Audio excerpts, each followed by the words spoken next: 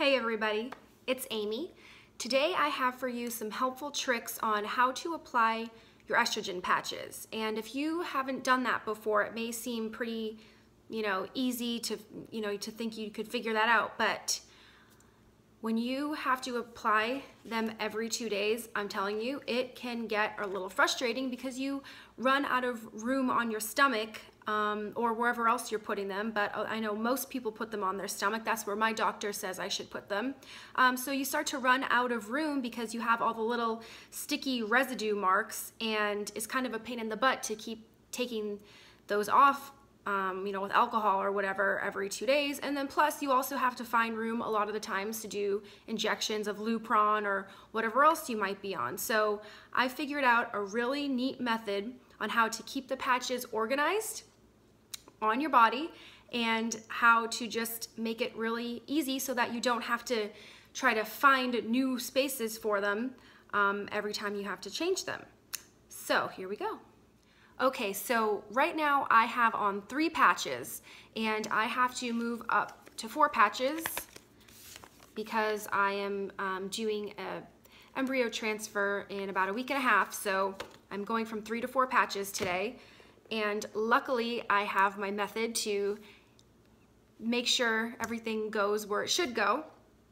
And what I will use for the sake of this video for educational purposes is a lip liner to draw on my stomach so I can demonstrate exactly what's gonna go where. All right, so for starters, you can see that I have three patches on right now, um, and I'm gonna just take those right off. So again, if you've never done this before, you can see the sticky mess that these leave behind and it's really difficult to get off. Um, so obviously you don't, you can, you know, take it off with some alcohol if you want to, but sometimes you don't really have time to be scrubbing that off, so you want to put, you know, new patches on before you have time to take that off. So if that's the case, then I will show you what to do, but let me take these off first.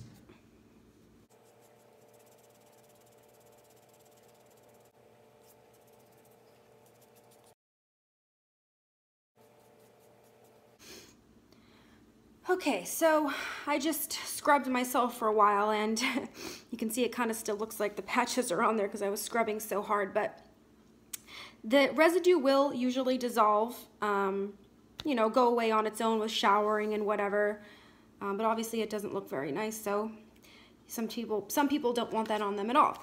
Anyways, so my method of applying new patches is to basically divide my stomach into three sections. So we can see over here, this is my left. I had the three patches on this side. Um, so what I do basically is I keep it underneath my belly button. So with my lip liner here, show you over here, over there. And then I make three, I kind of put it out almost to my sides right here. You can see it's not quite on the side, but almost. And then I divide this into three sections. These ones actually were um, kind of over too far to the center, so I'm gonna put a line right here, and I'm gonna put a line right here, and I wanna just make sure I have enough space to put two side by side. So one, and then two, one, two, And one on top of each other like that. Okay. So that's good. Now open up the patches.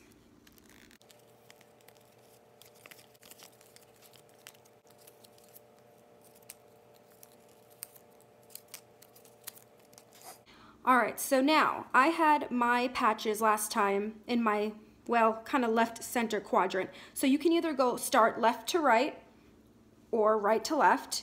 And so since I had it over here, I'm gonna start over here this time and then you just place them,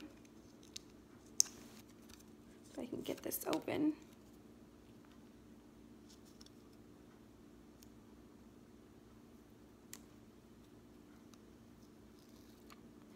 You want to make sure you don't really get your fingers on the sticky part underneath. It's hard. There's not a lot of, you know, there's actually really nothing, at least on these patches, to grab onto. So I just place them and then take the rest of the wrapper off.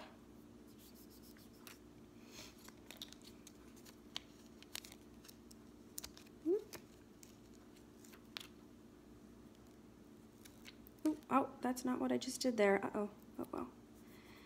And then I push, put them in this um, placement here. And I could have actually gone a little bit lower on these ones. Just depends on where you like them. They say you shouldn't, oh, those are touching a little bit. They say that um, you shouldn't have them on your band of whatever, you know, your jeans or whatever you wear, but I find that that fluctuates all the time, so that's really hard for me to judge. But anyway, so this will be on for the next two days. Make sure they're on there really good. And then the next time I go to change my patches, they will go in the center section. And then I take those off, and then two days later, they will be in the left section. And then I'll just keep going like that. So, you know, you always know where they're gonna go next, and you always have plenty of room for your injections if you need to do that. And then I always find that by the time I take off the ones in the third quadrant, the ones in the first quadrant have already kind of, um, the residue has already kind of come off by then, so it's a lot easier to take off than it was when I just took them off just now.